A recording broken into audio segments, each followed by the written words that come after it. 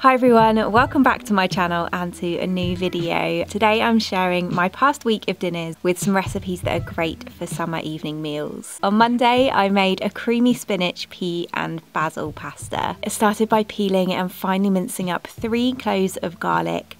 I then heated up a few tablespoons of olive oil in a pan on a medium heat then added in the garlic to lightly fry it off for a couple of minutes. I next added in 150 grams of fresh spinach leaves as well as half a cup of frozen peas and then I just continued to cook that off until the spinach wilted right down and the peas cook through. I then seasoned well with some sea salt and black pepper and then over in my food processor I added a 300 gram block of well drained silken tofu.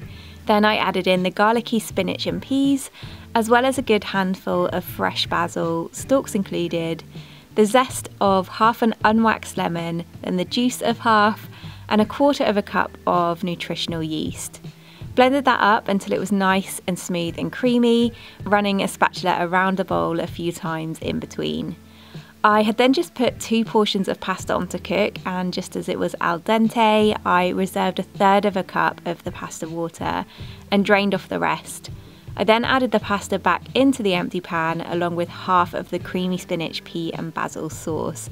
The other half can be frozen or stored in the fridge for three days. Stirred that through and then squeezed in the juice of half a lemon, seasoned really well with more salt and black pepper, then gave it a final stir through until the pasta had thickened the sauce slightly. Serve that with some grated cashew parmesan. I will write the recipe for this below, but I basically keep a wedge of this in the fridge and grate it on top of a dish. It's so cheesy and good. I also grated on some more lemon zest and scattered some fresh torn basil leaves over the top. The best kind of creamy pasta sauces are made with silken tofu so smooth every time and I love experimenting with new flavours.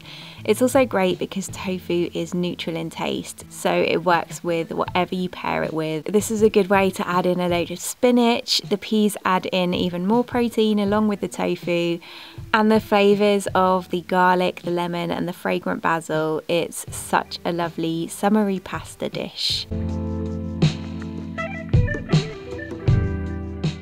On Tuesday night, I made my seitan beef and pepper stir fry. Started by heating a little oil in a pan. I then crushed, peeled, and finely minced three cloves of garlic, as well as deseeding and finely chopping a red chili. Added the garlic and the chili to the pan to fry off, and then I took a jar of Biona's seitan pieces, which are in a very light tamari and ginger marinade.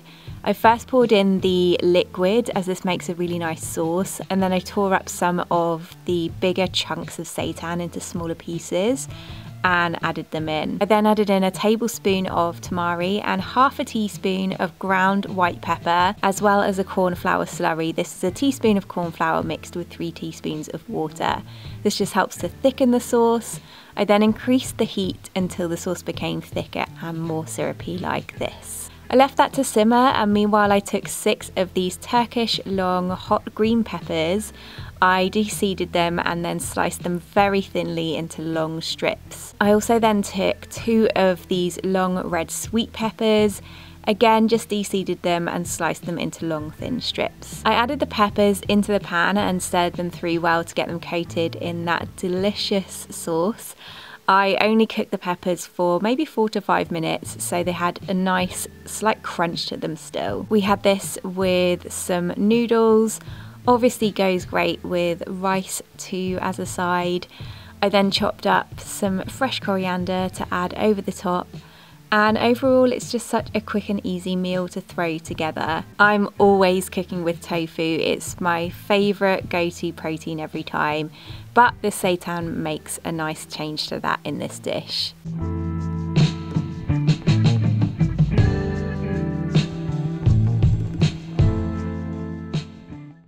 For Wednesday dinner, I made a red pesto, slow roasted tomato and basil quiche. I made the quiche base by adding 200 grams of plain flour to my Magimix food processor, followed by 140 grams of cold vegan butter that I'd just cubed. I then pulsed that together to combine and break up the butter, then I left it to blend while I gradually poured in 6 tablespoons of cold water and kept it blending until it formed a ball itself in the blender bowl. Just dusted a clean work surface with some flour, then roughly shaped the dough before dusting a rolling pin with some flour, and then I rolled out the dough to roughly fit over my baking dish. Just laid it over and then I pressed it down into the centre first and then molded the edges of what will be the crust and once it was pretty much even I then used a fork to prick the base all over. I then placed that in the fridge to chill for 10 minutes and preheated the oven to 180 degrees Celsius. I next took 300 grams of cherry tomatoes. I used coloured tomatoes in different variations and sliced all of those in half. I arranged those in a baking dish with the cut side facing upwards, then drizzled over some olive oil and seasoned with some sea salt flakes.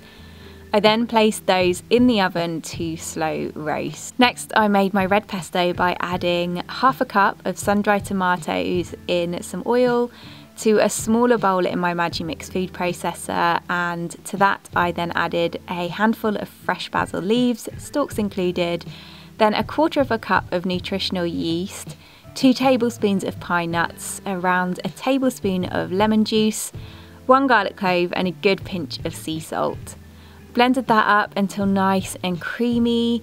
I would usually add more oil for a red pesto, but I didn't want there to be too much liquid in the quiche. I transferred that to the main bowl and added in a well-drained 300 gram block of silken tofu with two tablespoons of chickpea flour, the zest of half a lemon and lots of black pepper, and then I blended that together until nice and smooth. I removed the quiche base in the fridge and blind baked it with parchment paper and rice for 15 minutes, then removed it from the oven and discarded the paper and rice before putting the base back in the oven for another 10 minutes to cook in the centre. I then removed the base and the tomatoes at the same time. The tomatoes should be nicely roasted at this point and the majority of the liquid cooked out of them. I then placed the tomatoes in the base of the quiche, reserving some for the top. Again, cut side facing up picked some fresh basil, tore it up and scattered that over the top and then I spread on that red pesto silken tofu filling. I brushed a little oat milk around the edge of the crust which just helps it to go nicely golden and I put the reserved tomatoes in the top of the quiche with some more fresh basil. I then placed that in the oven to bake again for another 45 minutes. Meanwhile I made a herby potato salad. I boiled 15 new potatoes and then I left them to cool. I added them to a bowl with around three tablespoons of vegan mayonnaise, the juice of half a lemon, a teaspoon of Dijon mustard, and then a small handful of chopped fresh parsley, as well as some chives seasoned with salt and black pepper. Gave that a really good mix through. I have so many of these amazing chive flowers in my garden at the moment which are edible so I added some chive flowers over the top as well as some homegrown microgreens. Removed the quiche from the oven once done and left that to fully cool down before we ate it. I also grated over some more of that cashew parmesan cheese and tore some fresh basil over it too. Had half of the quiche with the potato salad and just a green salad on the side. I love making quiche because I then have leftovers for lunch the next day and it's even better when it's been sat chilling in the fridge. The crust is buttery, crumbly, melts in your mouth. The pesto, tomato and basil filling so tasty and I always love it with a good potato salad.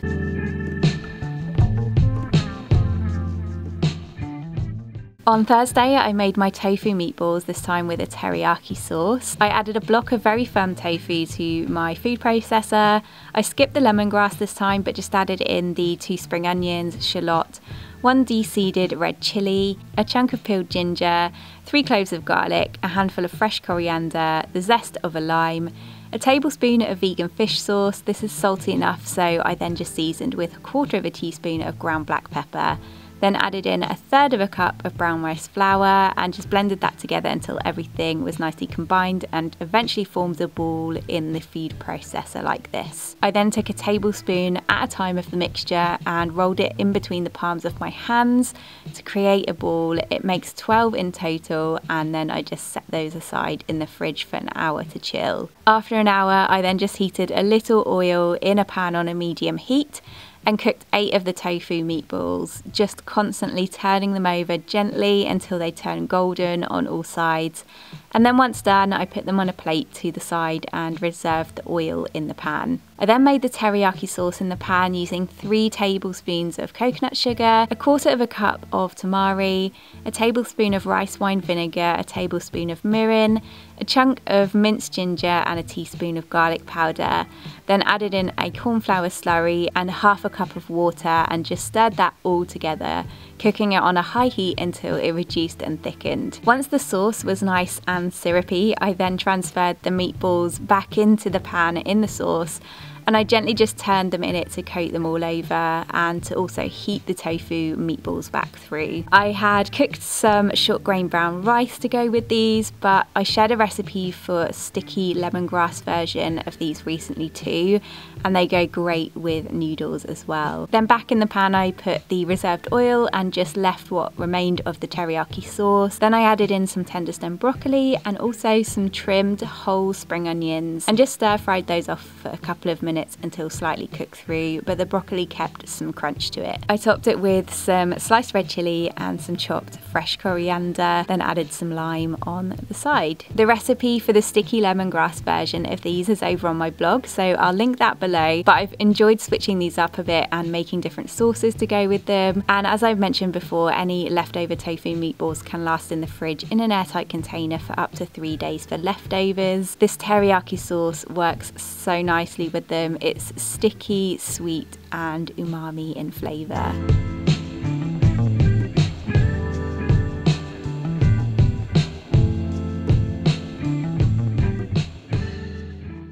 Then finally on Friday, I made my aubergine pesto lasagna. I first sliced up an aubergine into relatively thin slices. I heated up some oil in a pan on a medium heat and then added in the aubergine slices around seven at a time to fill the pan. And I fried them off until nicely golden on both sides.